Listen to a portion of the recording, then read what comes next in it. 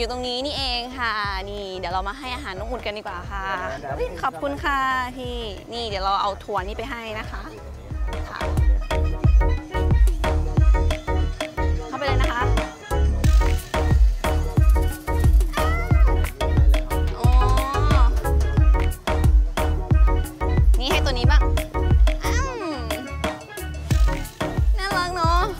ผู้ชมคะอูฐเนี่ยเขาเป็นสัตว์ที่มีความพิเศษมากเลยนะคะ เขาสามารถใช้ชีวิตอยู่กลางทะเลทราย โดยที่ไม่ต้อง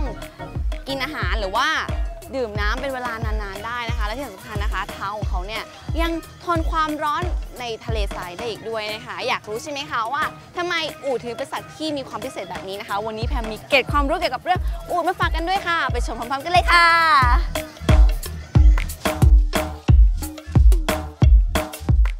อูฐโหนกเดียว มีชื่อทางวิทยาศาสตร์คือ Camelus dromadaris ลักษณะทั่วไปของอูฐโหนกเดียวจะมีหัวและคอยาว ส่วนไหล่สูง 2 เมตร และน้ำหนักอาจมากได้ถึง 600 กิโลกรัม มีขนตาหนา ในรูจมูกมีกล้ามเนื้อปิดเปิดเพื่อป้องกันฝุ่นทรายในทะเลทราย ตัวจะเป็นสีเทาแกมแดง หรือเป็นสีน้ำตาลอ่อน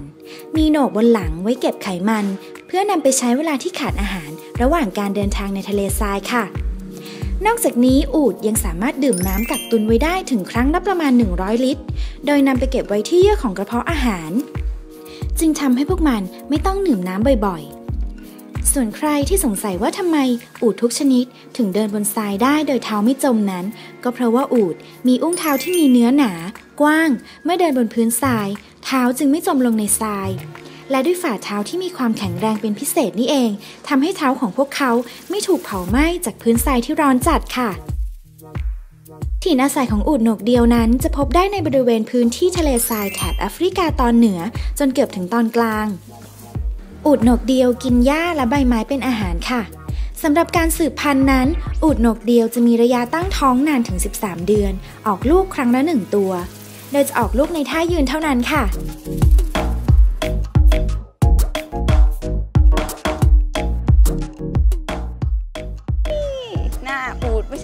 ไ